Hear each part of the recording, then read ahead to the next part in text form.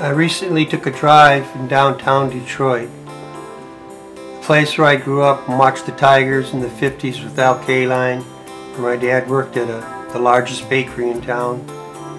Here's the Packard plant, the infamous Packard plant, once the largest manufacturing facility on earth. Up ahead are some barriers I later found out someone speeding at 70 miles an hour hit these concrete barriers and the driver died, unfortunately. Here's one of the loading bays.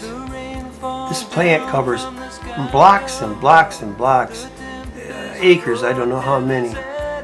But in its heyday, it had thousands and thousands of workers earning middle income wages and living in wonderful neighborhoods with middle class houses.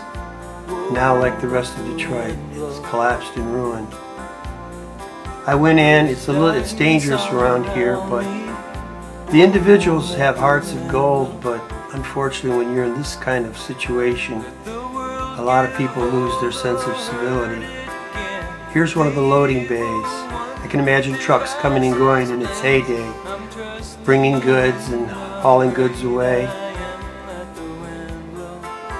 It's just an incredible labyrinth of, of what used to be. Thousands of people working on the line, the paint shops, in the auto, the pre-assembly, administrative offices. Here's one of the dark rooms off the side. I didn't want to go in there. That's pretty dangerous. There's a lot of spray paint graffiti art artists who come from all over the world to leave their mark here. And this is also the place where the infamous uh, poor homeless fellow fell from one of the upper stories into a shaft he fell and he died and he was upside down and when the winter came and the shaft, the water froze, he was like a popsicle. Uh, sadly,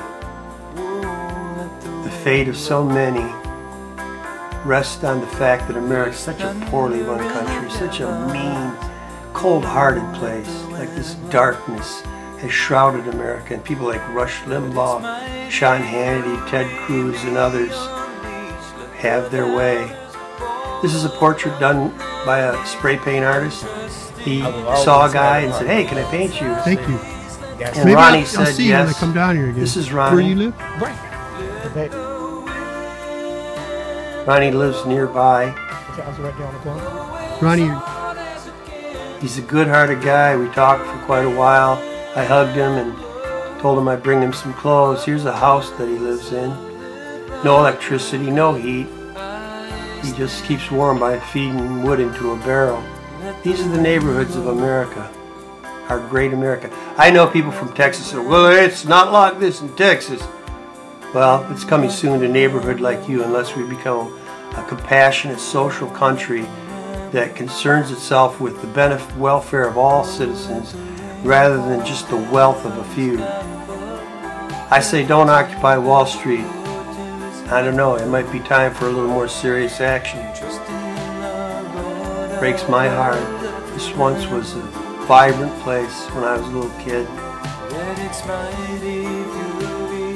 Way to go, America. Don't blame it on the Democrats. Look in the mirror. Trusting in the Prince of Peace,